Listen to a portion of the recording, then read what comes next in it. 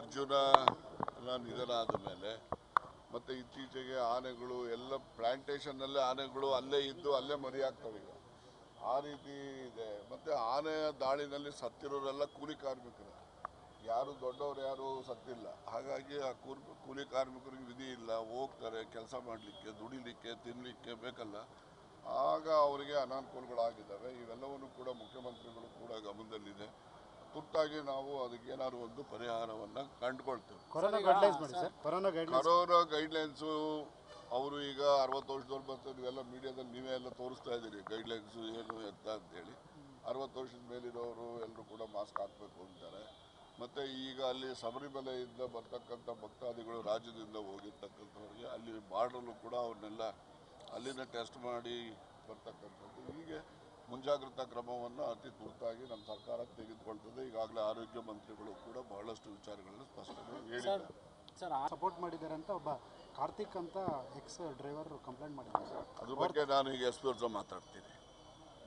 Okay thank you sir Hassan ಜಿಲ್ಲೆ ಈಗ joint survey revenue ಮತ್ತು ಫಾರೆಸ್ಟ್ ಅವರು ಜಾಯಿಂಟ್ ಸರ್ವೆ ಮಾಡ್ತಾರೆ. ಈಗ ಯಾವುದು ಅರಣ್ಯ ಯಾವುದು ಕಂದಾಯ ಇಲಾಖೆಗೆ ಸೇರಿದ್ದು ಅಂತಕ್ಕಂಥದ್ದು ನಿಖರವಾಗಿ ಗುರುತಿಸ್ತಾರೆ. ಅದರ ಅಡಿಯಲ್ಲಿ ಆಯಾ ಇಲಾಖೆಗಳು ಕ್ರಮ ತೆಗೆದುಕೊಳ್ತವೆ. ಸರ್ ನಿಮ್ಮ ಎಂ ಪಿ ನ ಇಮಿಡಿಯೇಟ್ ಆಗಿ ಘೋಷಣೆ ಮಾಡಬೇಕು ಅಂತೇಳಿ ಮಾಡೋಣ ಯಾವ ಪಾರ್ಟಿಯವ್ರು ಮಾಡವ್ರೆ? ನಿಮ್ಮ ಪಾರ್ಟಿ ನಮ್ಮ ಪಾರ್ಟಿಯವ್ರು ಎಲ್ಲರಿಗಿಂತ ಮುಂಚೆ ನಾವೇ ಮಾಡೋದು. ಮೈತ್ರಿ ಅಭ್ಯರ್ಥಿ ಇಲ್ಲಿ ಘೋಷಣೆ ಆಗಿದೆ. ದೇವೇಗೌಡರಿಗೆ ಘೋಷಣೆ ಮಾಡಿದ್ದಾರೆ ರಾಜಕಾರಣ. ನಿಮ್ಮ ಅಭ್ಯರ್ಥಿ ಯಾವಾಗ ಘೋಷಣೆ ಆಗಬಹುದು? ನಮ್ಮ ಅಭ್ಯರ್ಥಿ ನಮ್ಮದು ರಾಷ್ಟ್ರೀಯ ಪಕ್ಷ. ನಮ್ಮದು ರಾಜ್ಯದಲ್ಲಿ ಯಾವುದು ರೀಜನಲ್ ಪಾರ್ಟಿ ಅಲ್ಲ.